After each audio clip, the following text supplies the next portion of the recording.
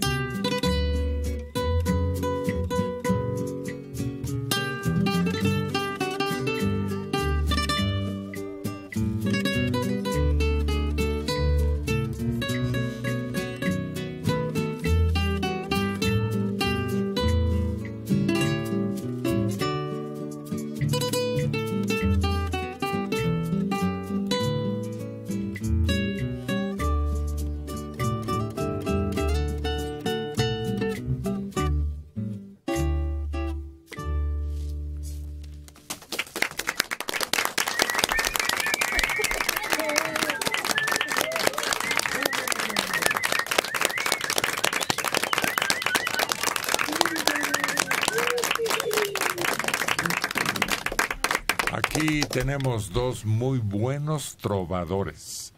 Pero además ustedes también pueden contestarme, porque yo les preguntaría, ¿cuál canción ha sido más popular en México entre Amor Perdido y Amorcito Corazón Tamagotchi?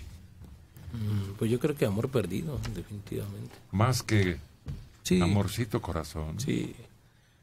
Bueno, es que Pero si la cantaron Pedro y la chorreada. Mm, Pero como que se amolda nada más a un momento, ¿no? Al amor nada más en, un- en un momento específico, ¿no?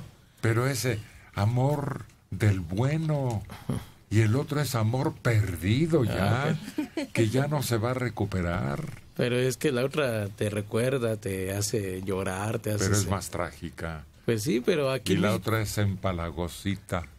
Aquí en México somos de ese, de ese tipo, ¿no? Que nos gusta ¿Sí? llorar, que nos gusta sentir... Uh. ¿Ustedes qué opinan? Que también conocen bien de este tema. Yo opino que la otra, Amorcito Corazón, que es más eh, oída, más cantada e incluso hasta fuera de México también. No, no, no, aquí nomás. No nos salgamos de México.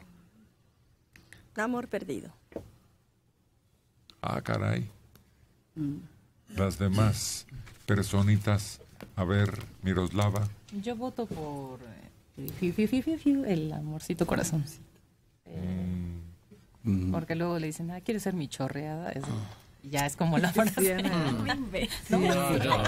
Sí, ¿Quieres ser porque no todos tenemos un amor perdido. No todos tenemos una tragedia en nuestros sentimientos por el sexo contrario.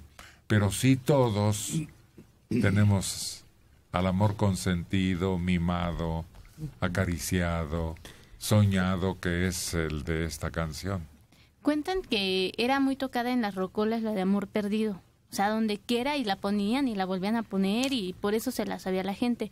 Pero actualmente con la película la siguen pasando. Entonces generaciones nuevas, pues no les gusta mucho, pero la imitan por el chiflidito y yo creo que es más famosa esa. Amor, Amor Perdido es una canción que no tiene una historia atrás y sin embargo Amorcito Corazón está vestida por el romance entre la chorreada y Pedro Infante y durante mucho tiempo fue el sello de una pareja, el Amorcito Corazón y yo creo como Rubí que lo sigue siendo aún en personas jóvenes, no en todas porque hay algunos que no no ven para atrás ni conocen lo que hay en la en cosa en la vida No, anterior. pero no Pero- dividir por sectores a México, No, no, sino no. en general. En general, Amorcito Corazón, porque está respaldada por una historia, por personajes. Mm. Amor perdido. Sonaba, pero esa canción ya la traía hasta debajo de los zapatos. Pero fíjate que Amor Perdido sonaba y tuvo su época y tal vez sigue sonando en algunos lugares, pero Amorcito Corazón la seguimos cantando. En muchos hogares, o sea, yo la recuerdo desde niña, la cantaban mis tías, mi abuelito, mi abuelita, eh, todos se la sabían esa canción. Pero fíjate que nosotros que tocamos así a la gente, no nos piden amorcito corazón, nos piden amor perdido. Definitivamente, ¿va?